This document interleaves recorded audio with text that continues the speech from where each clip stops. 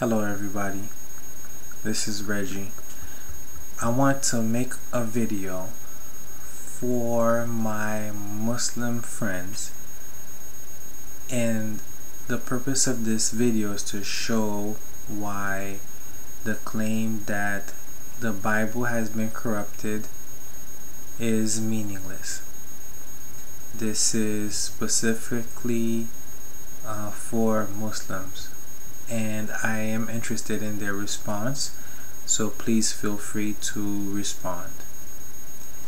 Okay, it is a popular claim by Muslims to say that the Bible is corrupted and cannot be trusted and I can understand why they say that but uh, I've been trying to show Muslims why it doesn't matter if the Bible is corrupted because some of the stories in the Quran reflects the corruption of the Bible in the Quran.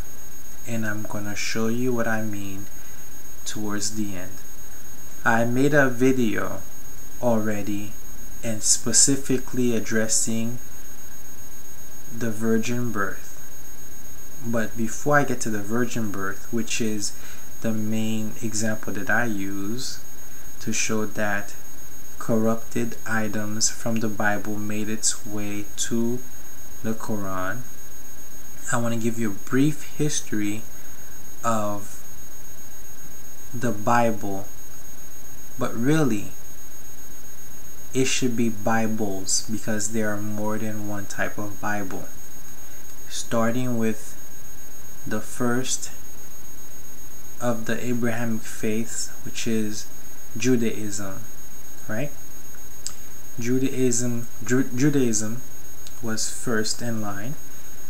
Uh, no, people say that you know Moses wrote the Torah, whatever, but the Jewish Bible uh, consists of three parts and together it's called the Tanakh okay?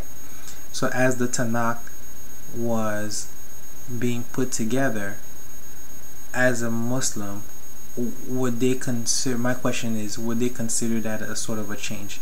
In other words the Torah was first then comes the Nevi'im or something like this uh, and then the Ketum uh, I'm messing it up but as the, the, the writings were being uh, gathered, would that constitute a change? Because whenever the people who canonized the Jewish Bible finally got together and they said, okay, this is our holy book.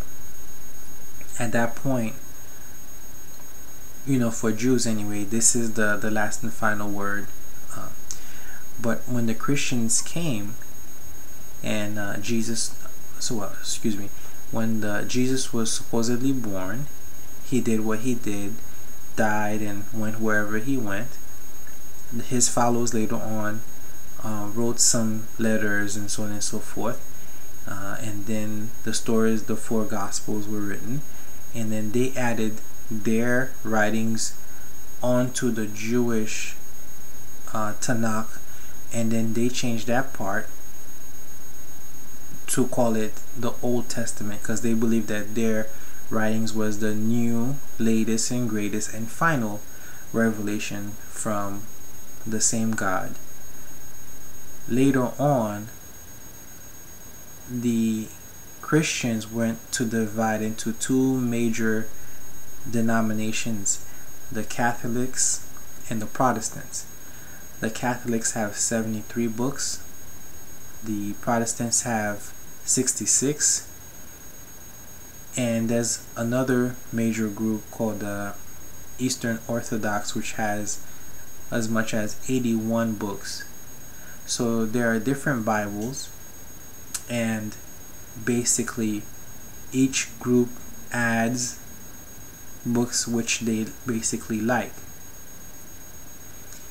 And uh, I find it to be very interesting that the Catholic Christians they add their seven books on the Jewish side, and the Jews who do not recognize uh, Christians as an authentic religion, right?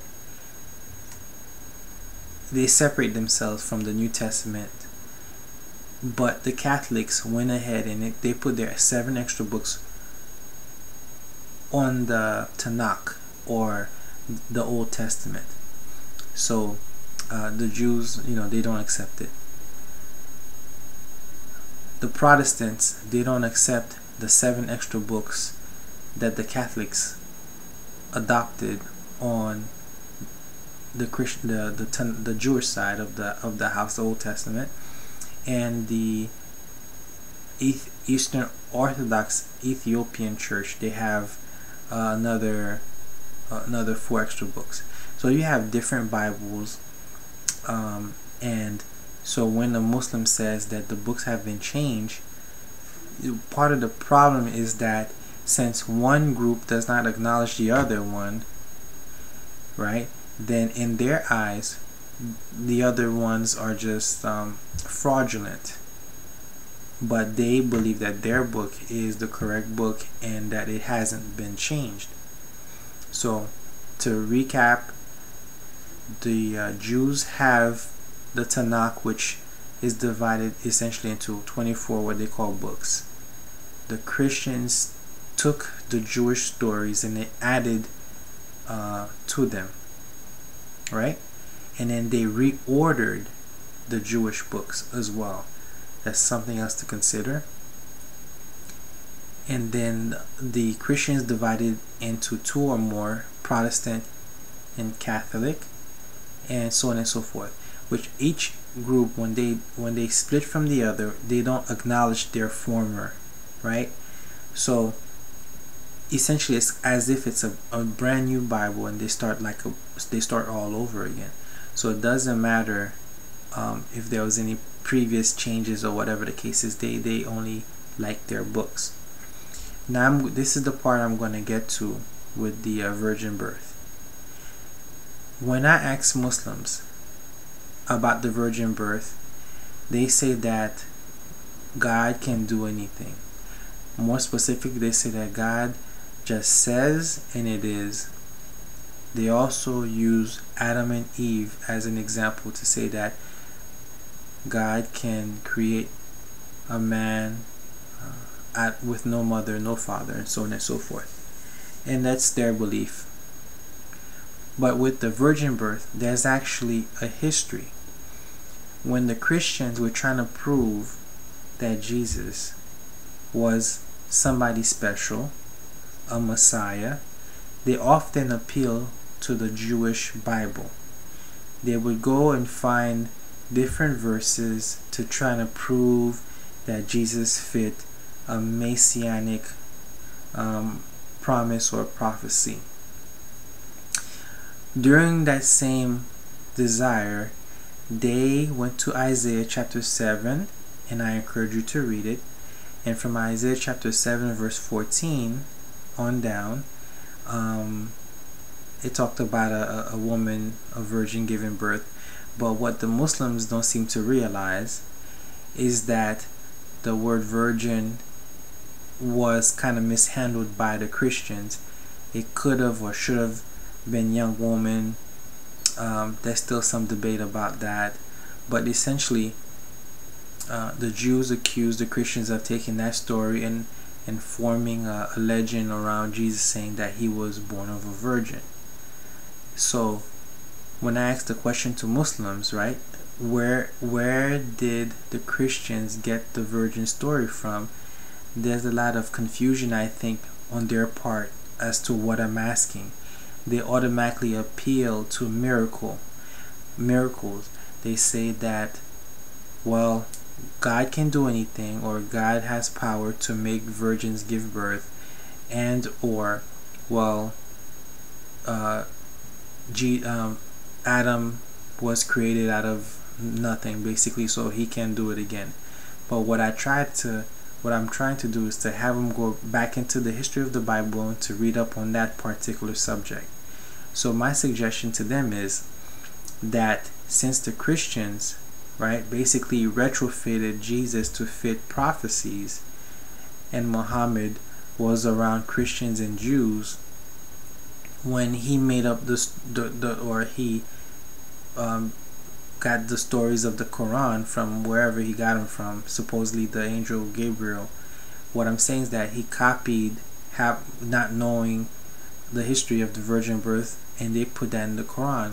So if the Bible is corrupted, then he just took a corruption and put it into the Quran.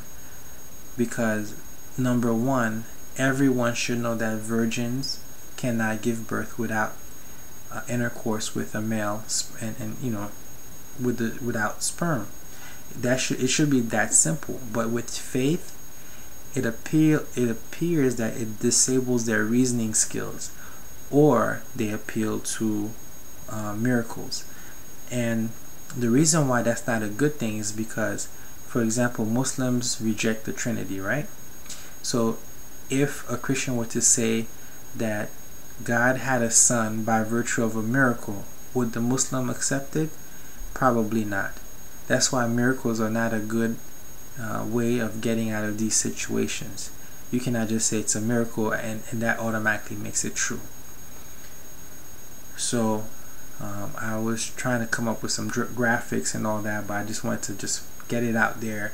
Maybe I'm going to make another video showing you the timeline um, I, I want to ask some people some questions, but basically, uh, the Jewish Bible came first, the Christian Bible came second, the Quran came third, right? And there's still more Bibles being made.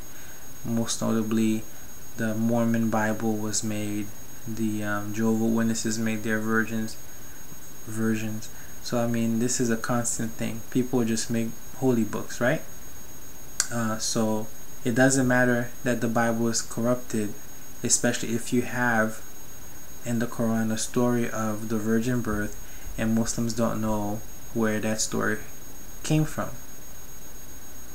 Uh, once they go back and they learn the history and find out that the Christians made up the story to make Jesus be a superhuman, then hopefully they will see that the Quran, after all, is, is just another book that is claimed to be holy.